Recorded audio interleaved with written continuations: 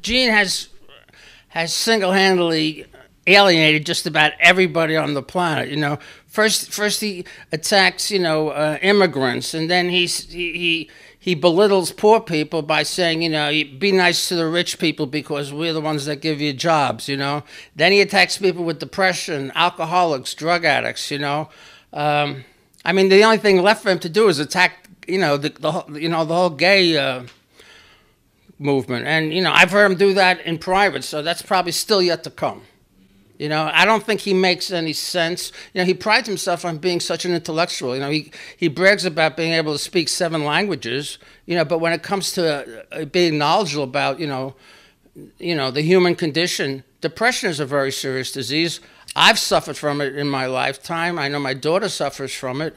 Uh, you know, alcoholism is a disease, and so is drug addiction. You know, it's the disease of you know, addiction. You know, you either many people are born that way, and Gene just seems to you know be ignorant of the whole fact. You know, I think it's time for Gene to go back to school and get educated. You know, in the health field. Paul and Gene still you know refer to me as a drunk and a drug addict. You know, and it's unfortunate because you know it's really hitting below the belt. You know, it was bad enough that they hit me when I was down, when I was really suffering and active.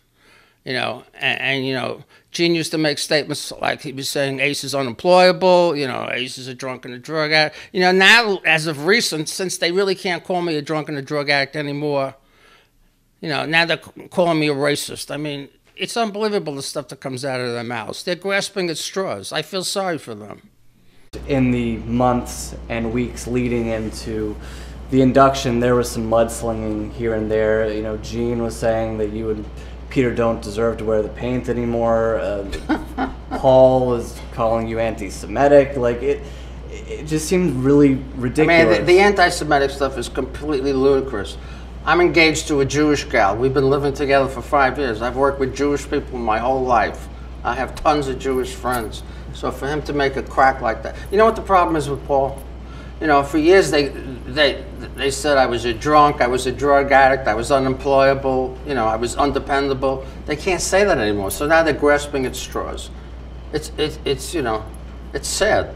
Paul's the one who seemed to be very vocal about you guys not not being uh, you and Peter not playing at the at the Rock and Roll Hall of Fame. He was the one on Twitter because everyone blames Gene, but on Twitter, Paul was the one really bashing the hall. I think I think Gene would have done it. I think Paul said no.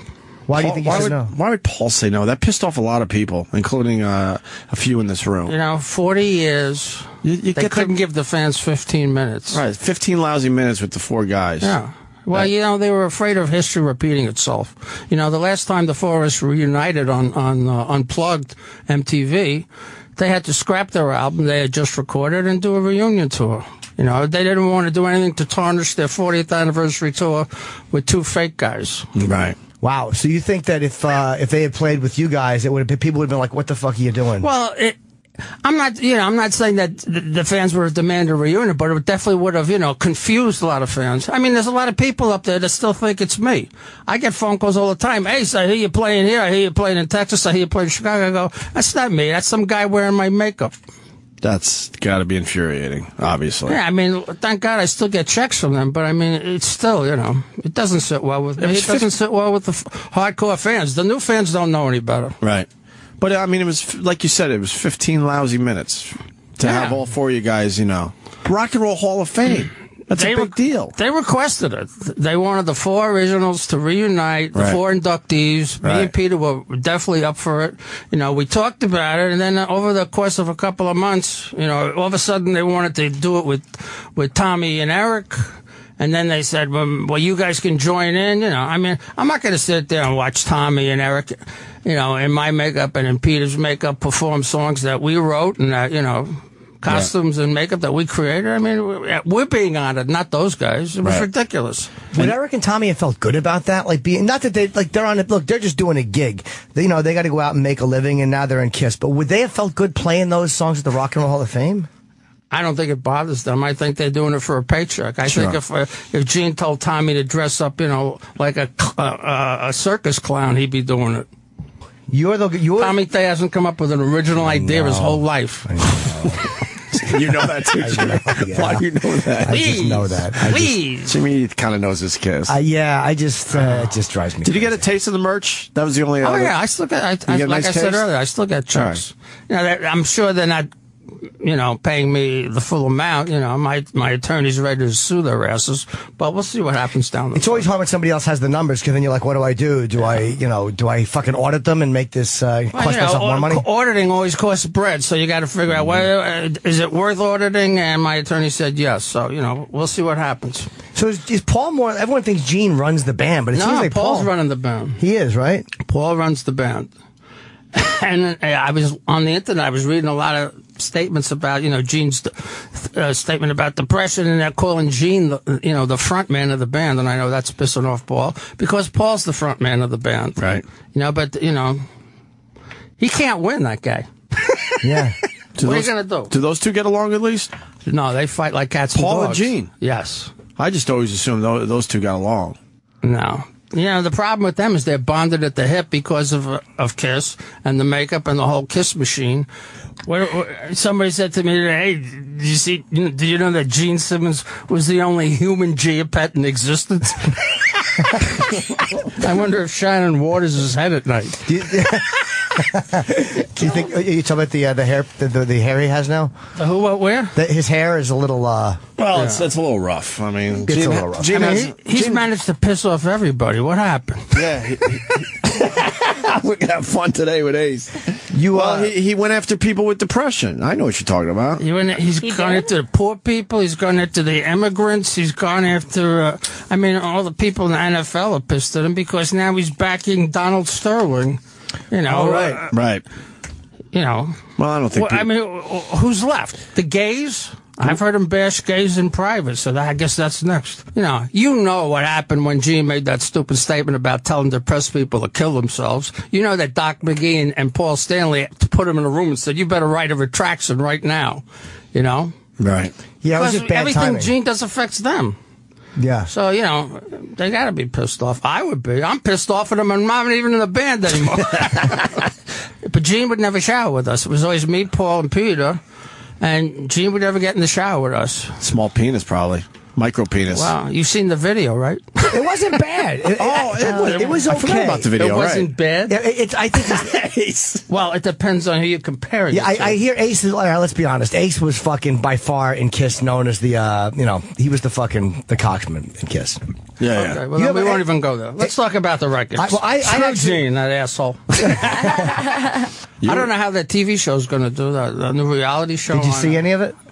I saw a little of it, and I, I couldn't watch it anymore. I had to turn it off. Wait, It what's was the just reality so show? goddamn boring. What? But if, Some you know, if those guys would stop buying football teams and opening up restaurants and stuff, maybe they'd make better records. I don't know. Uh, Gene and Paul did interviews in Guitar World and uh, the Guitar World magazine and alleged that you and Peter had to be taught how to play the Kiss songs again. Give me a break. You know, Tommy sat with me because I didn't want to play him alone. I needed a rhythm guitar player. So Tommy was playing rhythm guitar while I, uh, you know, I worked on the leads. You know, if I made a mistake, Tommy would correct me because he has every lead I've ever played in my lifetime memorized in his brain. So uh, that was the only plus to that. Right. I mean, I don't know how I would feel if I had to imitate somebody else 24 7.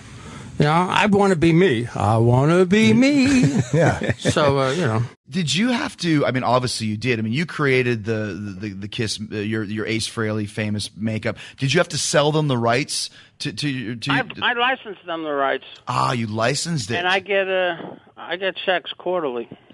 gotcha. So is that something that like uh, like in ten years they have to renew or? I don't know. My lawyer said, you know, there's uh, in the future, you know, there's some gray areas about, you know, whether or not I'm going to get it back or uh, renegotiate. Interesting. And you know, they're examining that right now. You know, I mean, Paul recently said that they own the makeup. That that's bullshit. They don't own it. they leased it. Wow. Um, question I had was from Psycho Circus. If you remember that stuff, I got a special disc that had two songs. It had Psycho Circus and In Your Face.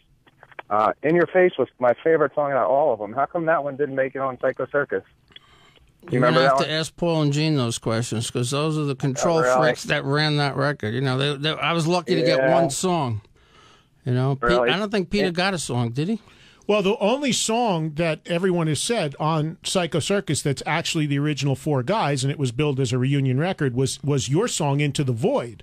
I know. that you wrote. That that's the only song on that whole record where all four of you guys actually and you, play you, on you it. know, I, I've read some some uh, statements by th those guys and other people about that record, and they're saying, "Yeah, well, Ace didn't show up for the other songs. I wasn't invited to any of the other recording sessions. You know, they had other people playing on the records." But it wasn't, uh, you know, it's not that I didn't want to. You know, I wasn't invited. You know, I, I said to Paul, you know, this is supposed to be a reunion record. How come Peter's not playing drums on all his tracks and stuff? And you know, I'd like to have a lot more input. And he goes, the fans don't care. Yeah, that's Paul Stanley. What are you going to do?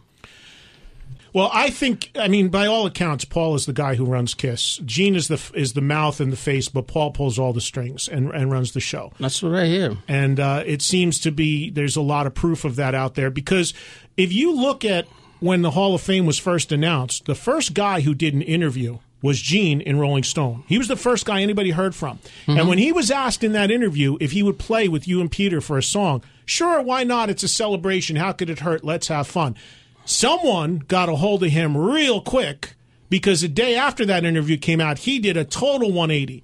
So, hmm. you know, someone got in his ear and I, you know, And we know who that and we person know was. that is, and said, "No, this is not what's happening." And there's a big thought that Gene runs Kiss because he's so out there, but anyone will tell you that Paul these days pulls all the strings. I mean, it, it's just really unfortunate that after 40 years, they couldn't give the fans 15 minutes. How close did it get to ever you get ever getting up and playing with them? I mean, I know there was a lot of talk leading up to the actual night before they just said no, not playing at all. But was there a point where it ever you felt like it was close that it actually may come off for a song? The closest it got to be was that they wanted to perform with uh, the current lineup, and they said if I put on a makeup, I could get up and do a couple of songs. And at that point, you know, I said, I said to myself, you know, if I get up next to Tommy in, in my costume, I'm going to blow Tommy off the stage because there is only one Space Ace. And I think after I agreed to do it, which they probably didn't think I was going to agree to, they had second thoughts and they pulled the plug on that idea. So you turned it around on them and you said, "Sure, I'll come. I'll take the challenge, so to speak." Yeah. And then you're saying they pulled it, and when when you said yes, they said, "No, we're not going to do it." I said, I'll take the Pepsi. and I don't, you know, you know why? I, I just figured out they were trying to use psychology with me. I think they thought I was going to say no, and then you know what? They could have gone on the press and said, "Well, Ace turned us down." Right. And that would have been an outer. That would I, that would have been the scapegoat for them to say, uh, "Well, that's why it didn't happen. Ace refused to play." But you know, that's not the case, and uh, it's public record at this juncture. What do you think of Tommy as Ace? What do you think? I mean, he's dressed as you. He's doing your thing. What do you think of him as? Let's let's be honest. He was in a Kiss tribute band before this, Yeah. uh, as you. So what, the little bit you've seen, what do you? What is your evaluation? No, he, he's not Frehley by any stretch of the imagination. Number one. Number two, what bothers me the most is that I know the new fans that Kiss are getting don't know it. You know, a lot of people that see Tommy up there think he's the original guy that created the makeup, that wrote great songs and wrote all those solos that he's performing, but he's not. You know, he's just a guy up there copying me and trying to move like me and try to sing like me and trying to play like me. You know, and it, you know, that's what bothers me the most. I mean, the real hardcore fans know, but the new fans, a lot of them don't know. And you were in Kiss at one point with Eric Singer as Peter. You were in a Yeah. version of the band. What was your take on that? That was okay. I mean, Eric's such a solid drummer. He's a pleasure to play with because you know, you know the you know the beat's always going to be there. But as far as the image of it, it had to be strange for you to turn turn around and see a guy as dressed as Peter. I would think. Well, you know, I don't see as good as I used to. So when I look back, I can't tell the difference. And you know, like I, you know, just like a lot of fans don't know. I, mean, I can't tell you how many times I get phone calls and people say, "Hey, Ace, you playing? I heard you playing here. I heard you playing there. You know, can you get me tickets?" I go, "I'm not in the band anymore." You know, some people still are oblivious to that whole thing. I mean, I, I saw a couple of, you know, cover Kiss cover bands online that you know are better than they have a lot more excitement and, and they got the moves a lot better than the current lineup at Kiss.